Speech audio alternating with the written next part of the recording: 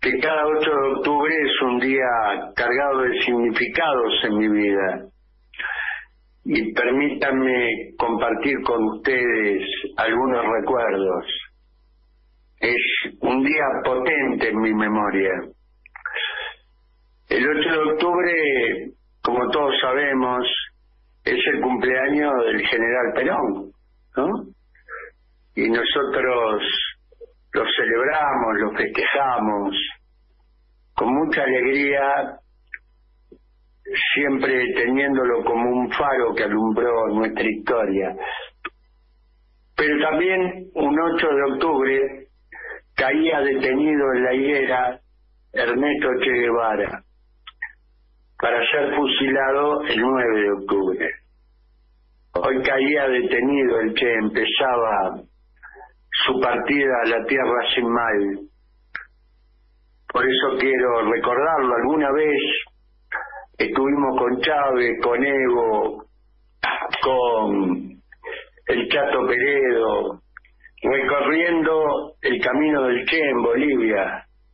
Samaipata, Valle Grande, Pucará, La Higuera, todos los pueblos donde, al decir del propio Perón, Perón cuando fusilaron al Che dijo, era el mejor de todos nosotros, dicho por Perón, ¿no? Por eso también, más allá del sectarismo de alguno, quiero traerlo acá, al centro de la escena de Radio Rebelde. Esta Radio Rebelde cada día más potente, más intensa, más cercana al corazón nacional, popular y revolucionario. Y quiero contarles también que un día de hace 30 años yo acompañaba en el parto a Alicia, estuve en todos los partos con ella, es una experiencia muy potente estar en el parto porque uno se da cuenta de, todo lo que significa en sentido amplio y profundo una mujer, una mujer cuando ama, ¿no? Y, y cuando ama en su máxima expresión, que es dar a luz, ¿no? Estuve en el parto con, con Alicia nació Anaí Ayelén, nuestra hija, que por estas horas vive en Estonia y aprovecho para mandarle un abrazo enorme. Salgo de la clínica, lo, lo llamo a mi papá para y a mi mamá para comunicarles que habían sido abuelos por cuarta vez. Y del otro lado mi vieja me dice, vení que el viejo tiene un infarto. Cuando llegué mi papá estaba muerto. Tuve la experiencia de la vida y la muerte al mismo momento. Una cosa inenarrable. Eh, estábamos velando a mi papá y en la nursería mirando por el vidrio, allí está. La vida y la muerte metida en lo más profundo de mi corazón. Una experiencia que no, no olvidaré nunca y que hoy quiero compartirla con ustedes. La política no puede ser abstracción, también debe ser vida. Y la vida que uno practica y lleva adelante cada día y que merece ser compartida. Ayer fue un día cargado de connotaciones con operaciones mediáticas de la derecha cavernícola, oligárquica y antiimperialista, trabajando para rompernos. Y, la verdad no lo lograron, porque por un lado, muchos, Eve, Carlos Raimundi, Mario Seco, eh, Alicia Castro, Luis Elía, muchos pudimos decir lo que pensábamos.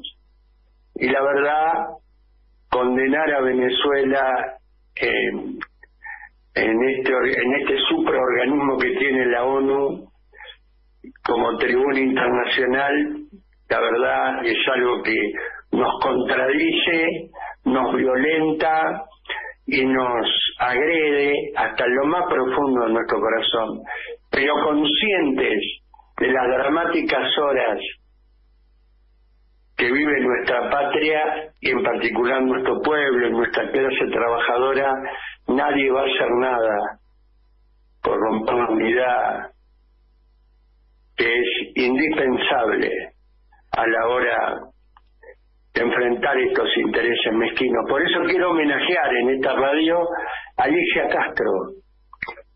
En momentos de la política de todos los sectores, ¿eh? donde hay gente que, que hace cualquier cosa por tener un cargo, Alicia no dudó un minuto, un segundo, en dudar, en renunciar a su este, diplomatura, a su cargo diplomático en Rusia, no dudó un minuto, un ejemplo de una extraordinaria coherencia política y de una extraordinaria dignidad como Argentina. La verdad quiero desde acá mandarle un enorme abrazo a Alicia Castro, compañera y amiga desde hace muchísimos años. Eh, no esperaba otra cosa de ella. En, un espacio donde yo me pregunto, en el kirchnerismo, ¿la coherencia garpa? En las primeras líneas de combate, ¿están los coherentes o están los que están todo el tiempo bailando el minué con los factores de poder? Me parece que es hora de dejar de bailar el minué, dejar de dudar tanto, de dar vueltas, de estar tan dubitativos y eh, encontrar un rumbo. A ver, muchachos, le bajamos tres puntos las retenciones a los del campo y solo liquidaron 60 millones de dólares. Eh, planteamos la expropiación de Vicentín, nos pusieron dos tapas de clarín y nos fuimos al mazo. Eh, con el impuesto a los ricos seguimos dando vuelta.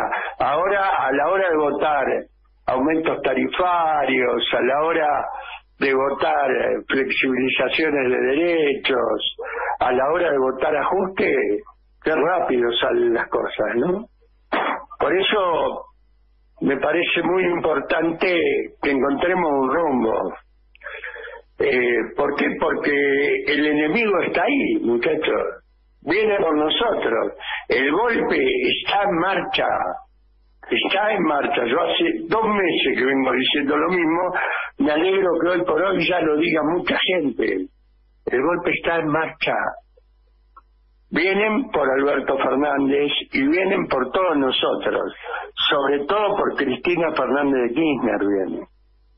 Por eso quiero ser muy racional por estas horas.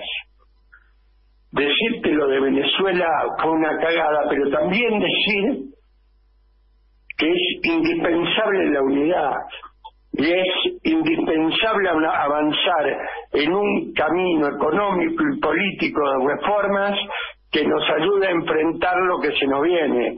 15 millones de argentinos arrinconados contra las peores condiciones económicas. Por favor, reaccionemos, démonos cuenta. A mí me, alegra este tipo de debates porque hace que nos pongamos más tolerantes, más respetuosos, que nuestra fuerza sea más democrática, que uno pueda decir, esto es una cagada, no estoy de acuerdo, no te maten, ni te marginen, ni te proscriban, ni te borren de las listas, ni te manden a Siberia. Por eso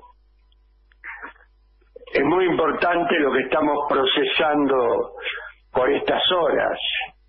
Es muy potente, muy fuerte.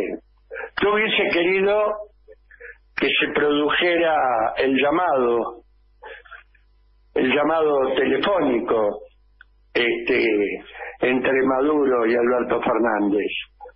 Eso hubiese ayudado a, a parar la pelota, a bajar los decibeles, pero lamentablemente esto no sucedió. Salió Patricia Burrich, presidenta de, del PRO Cambiemos, a decirle claramente que no haga ese llamado telefónico, que no lo haga. Una pena. Quiero creer que la vida continúa, que la semana y el mes son largos y, que en algún momento de los próximos días, de las próximas horas, ese llamado finalmente se va a producir. Me preocupa que se haya anunciado que no hay más IFE 4. La verdad, nos quedamos todos mirándonos los unos con los otros. En momentos donde la pandemia recia y sobre todo lo que recia es la pandemia económica del desempleo y de la pobreza, ¿no? ¿Qué, van a hacer nuestros pobres? ¿Qué va, ¿Qué va a pasar con la gente? ¿Qué va a pasar dentro de pocos días? Este, donde no aparecen, ayer estuve hablando por teléfono con los delegados de la toma de Guernica, que me llaman prácticamente a diario, y no aparecen soluciones en el horizonte. Soluciones quiere decir ¿Qué hago alternativa? ¿No querés que estemos acá? Bueno, ¿dónde vamos? La alternativa no puede ser el chamullo. La alternativa tiene que ser real. A ver, lo dije el otro día y lo repito ahora para que se entienda. Alguien decía en los albores del magisterio positivista, bueno, que la letra con sangre entre. Muchachos, si este negro de la Ferrere fue capaz de traerse 1.520 desalojados de la capital federal, de la bodega Fiol, de los bajos autopistas, y hacer un barrio pujante como hoy es San Javier, ¿cómo no va a poder hacer eso el Estado provincial, el Estado de la provincia de Buenos Aires? No quisiera no creer que, que la única alternativa sea el desalojo o promesa firmada en un papel. No, así no se trabaja, muchachos. Hay que ofrecer salidas concretas, concretas. necesitamos mejorar la calidad de nuestra administración. Hay áreas, hay lugares, hay sectores o que estamos parados o los que gestionan, la verdad, no saben nada. Me parece que es hora de pegarle la, primera revisada este, al gabinete y ver qué cosas funcionan, qué cosas no, pero hacerlo con, la mejor de las intenciones.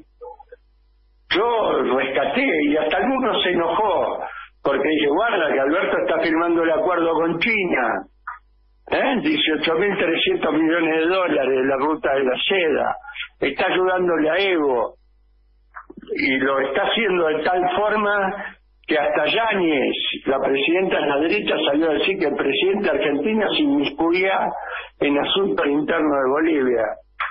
Está ayudando a Ecuador.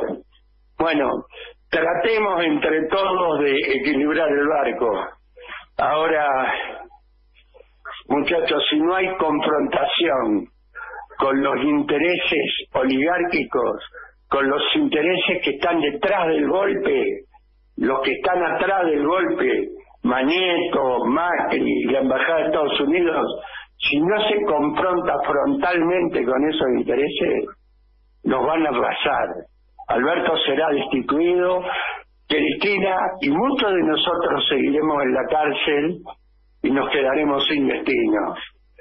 Es preferible hablar acá en estas tribunas y ser claro y tocar la campana de la atención y ojalá que alguien nos escuche y que podamos salir de esta disyuntiva falsa en que nos pone la derecha, que el único camino es la dolarización, el ajuste y más modelo neoliberal. No hay una salida. La salida la que propone China, la que propone este, Rusia, la que proponen países que hoy han abrazado la causa de la revolución digital, que nos permite, nos permite con mucha fuerza poder distribuir lo que no tenemos.